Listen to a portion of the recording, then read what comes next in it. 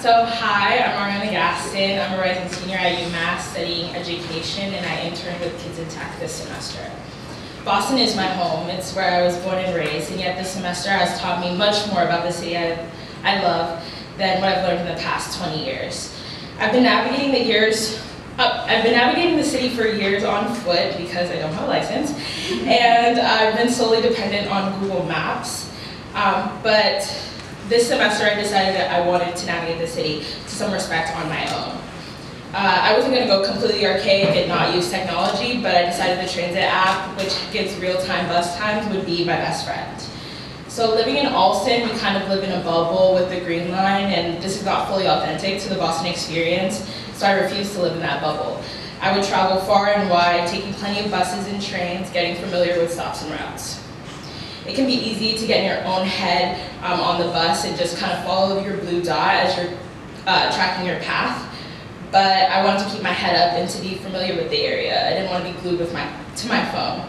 I wanted to know the streets so well um, that I had limited need for a map, especially around routes I took regularly or just um, down our street. One instance I can remember is in Brigham Circle, there was a lady who walked up to me and she was like, how do I get to Fenway?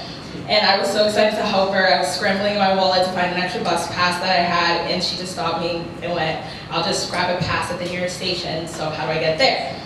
Filing through my brain, I was thinking, well, Rocks Crossing is not really the right direction. Um, Harvard, Ruggles is far and Heath Street is kind of backwards. So I suggested Ruggles.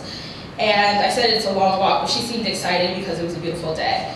Um, from that moment on, my confidence in knowing my city skyrocketed. I really knew it, and that's where I decided she knows where she's going.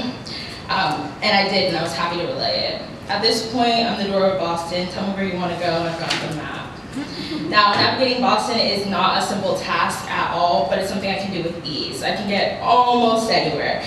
I'm no longer dependent on Google Maps, and you know, traveling this way is really anxiety-inducing at times. It's not easy. Stops can be hidden, buses delayed or completely canceled. Um, and but there's a level of prestige knowing you know where you're going because you know your city.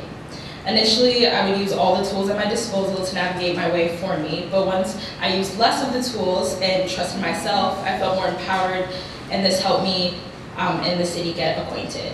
Being a true Bostonian is taking the MBTA, knowing the ins and outs of the cities, and getting your way around with ease and confidence, and that's me. Thanks.